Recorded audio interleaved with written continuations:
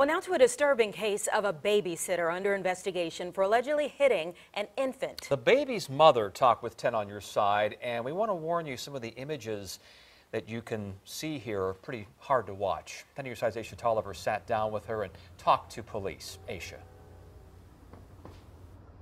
Well, Harper's parents are practically horrified after they were called to their babysitter's home and found their five month old baby practically purple from bruising. Now, they say they don't know exactly what happened to their baby Harper, as the sitter's given two different versions of the story.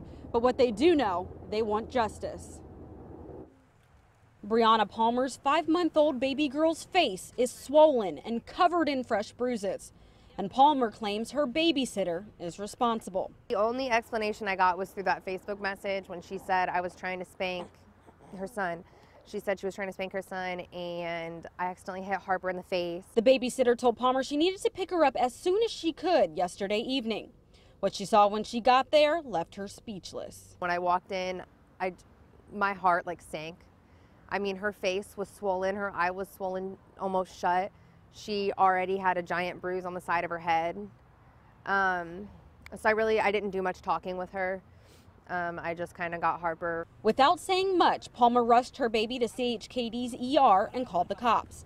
Police say detectives from the Special Crimes Unit were contacted by Child Protective Services about the injuries found on the baby during the ER visit. Officials couldn't give a lot of details since it's an active investigation, but did confirm it happened here at the sitter's home while the baby was in her custody.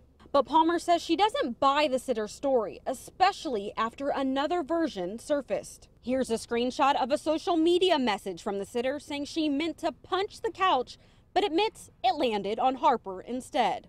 I knocked on the door to see if she'd comment, but no one answered. Palmer says she wants this story to be a warning for other parents. Just because somebody is military affiliated, just because they come with references, just because they have experience, it doesn't make them safe.